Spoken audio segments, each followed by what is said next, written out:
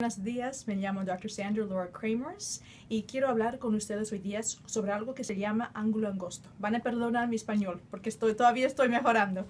Eh, esto es un ojo normal que estamos mirando el frente del ojo que se llama córnea, el parte colorado que se llama el iris y este forma un ángulo que normalmente está abierto como así.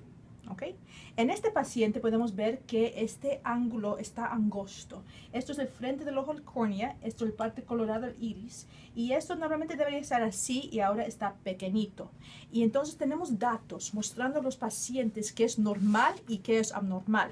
Sabemos que el ángulo debería ser por lo menos 34 grados. Este paciente está 21 y sabemos con datos, estudios que han hecho en todo el mundo, que si el ángulo está menos de 26 grados y esta parte aquí, que es como el tamaño, el depth se llama, es menos de 2.5 y el volumen que debería ser más de 171 eh, cubic millimeters eh, y está menos de 100, hay un riesgo de un ataque de glaucoma que puede causar pérdida de visión, seguimiento, glaucoma. ¿okay?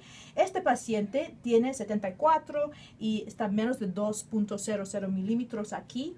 El volumen, volumen es menos de 74 y el ángulo, como le dije, es menos de 21. Entonces tiene un el riesgo de ataque de glaucoma que está bastante alta.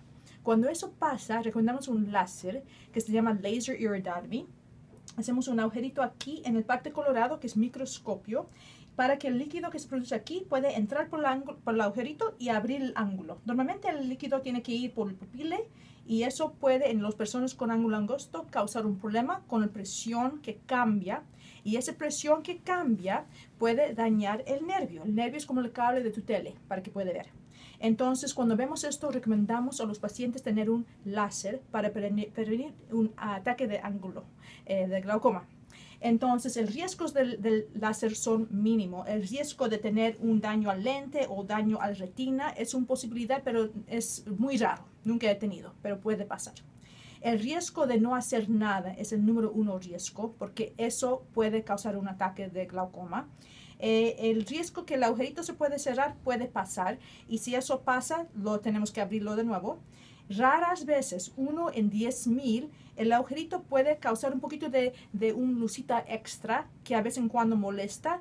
Es una cosa también muy raro, pero puede pasar. Si eso pasa, tenemos remedios para eso, pero nunca he tenido que usar eso. Entonces, si usted tiene ángulo angosto o tiene preguntas, nos puede preguntar eh, en mi tarjetita. Es mi email, drdrkramers at visionaryeyedoctors.com. Muchas gracias. Adiós.